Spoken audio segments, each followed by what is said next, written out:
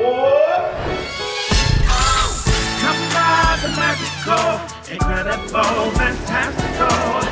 Come ride the very end, Airy Library. Welcome to the very airy library. Wow, it's awesome. And it flies? Each week, Hey, there's a Mr. new Stan. journey from a permanent author. What is this place? A few friends Your with stand? we to travel on. Welcome, tiny human. Ride the magical, incredible, fantastical. Come the very end, Young authors Airy located. I think we're ready to go.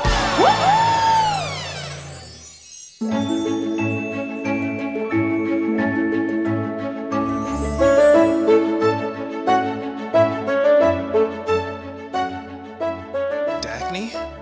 Daknee? 1 800 pump you up?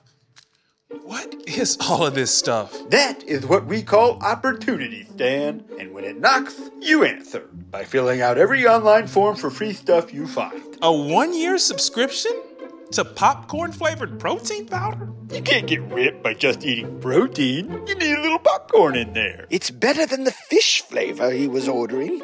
That stuff smelled like. Well, it smelled like fish. Oh, wait, there's one in here for me. Cooper Borland to Mr. Stan in the Very Airy Library. Hmm.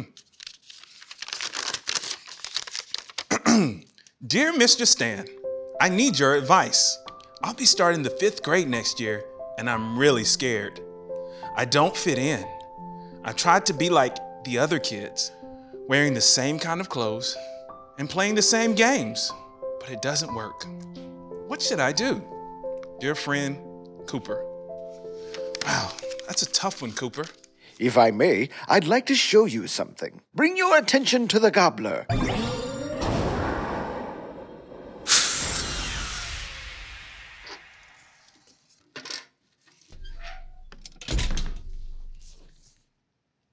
Darryl's Dream. Written by Daryl DMC McDaniels. The DMC? The one and only. Wow! Founding member of Run DMC and one of the pioneers of hip hop. Also loves red velvet cake and rice pudding. I believe this book is about his own experience, trying to fit in. Perhaps he could offer some advice for this young man. Y'all, there's no way we could get him here. Is there? I might just have a connection. What? Really? My old roommate was a rat. Best roommate I ever had. I resent that. At least she did the dishes. I don't have any hands. I like to let them soak for a few days, weeks. Let's focus. So you're telling me about your roomie, the rat. Well, she has a cousin that lives in Paris. That same cousin has a brother-in-law that works with this famous rat chef. That rat chef knows a man chef that knows a waiter that once dated DMC's barber. Or we could just call his publicist. Yeah, let's start with the publicist. Boring!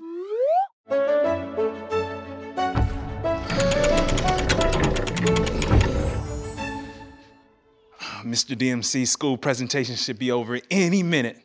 Philo, great idea of meeting Mr. DMC at his school book tour.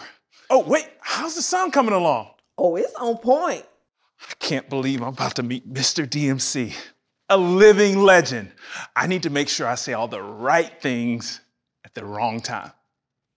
Uh, all the wrong things at the right time. That always works for me. I've been working on a big joke. I even wrote it down so I don't forget. You know, I want him to think I'm funny, but not silly. Smart, but not arrogant. Classy, but not too classy. Do you think the suit's too much? Perhaps if you balanced it with something more casual, like some comfy gym shorts. But you don't want to look too comfy. Oh, maybe a hat would help. Something formal, yet fun. W- what about my shoes? Should I have something a little more comfy? Well relaxing shoes would let him know you're relatable. Oof. I almost made a fool of myself. Now there's a guy I'd like to know. Oh, here he comes. Remember to bow low as he enters. And make sure you offer to take his hat. It's polite. Yeah.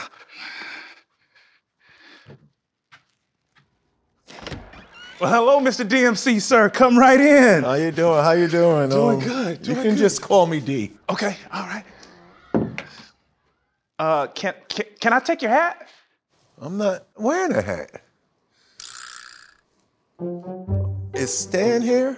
Uh, I, am Stan. You're Stan? I thought you was the butler. Is it Halloween already? No, this is what I normally wear. Hold this. Uh, are you, have you heard about the chocolate record player? Uh, no, I haven't.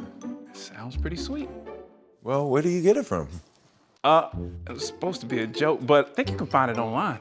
Okay, I'll look into it.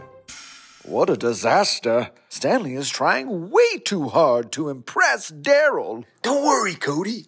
It's not working. So, I read the letter about a young student. Yes, yes, that's why you're here. So we thought your book would be perfect for what Cooper's going through. Oh, cool, cool. Any way that I can help out? The Story Explorers and I were wondering if Darryl is a direct reflection of when you were a child. Yes, it is. When I was a kid, I got teased, bullied, and picked on because I wore glasses. I was the kid that loved reading comic books. Um, I was a straight A student. I wanted to go to school through the whole summer. I didn't want to take off June, July, and August. So a lot of kids would tease me because of that.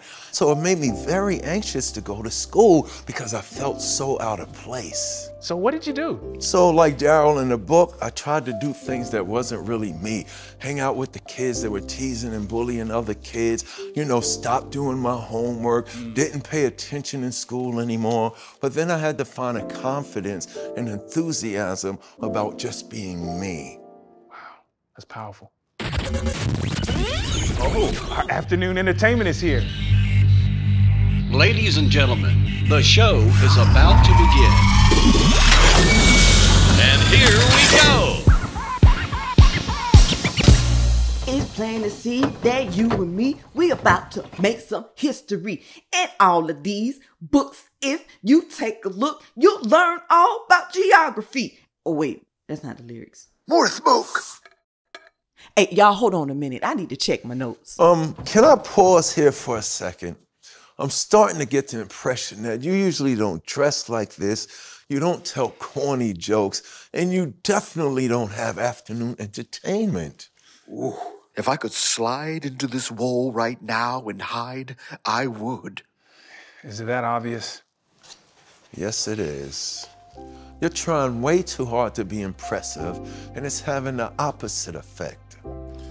You're right, D. I just wanted to impress you. I wanted you to think I was intelligent, cool, and witty. But just like Cooper, looks like I need to learn how to be myself too. I've discovered the more that you try to be something that you're not, the more you lose yourself. We all are unique. We all are different. We all are special. We all even a little weird. Embrace that stuff, man. And it's okay to be nervous or anxious and even scared. I still get nervous every night before I go on stage. Really? Yes. I puke before every episode. I'm humbled and honored to have you here, Mr. DMC.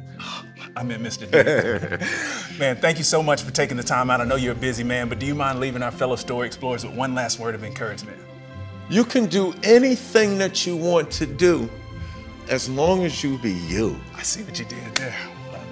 All right, friends, that's it for today. But always remember to be kind And never judge a book or a person by their cover. And you should keep those slippers, man. Those are cool. You mean the Air Llamas? Yes. This episode features the book Darryl's Dream. Reading is a great way to learn from other people's experiences. I hope you'll consider picking up this inspirational book for your next read.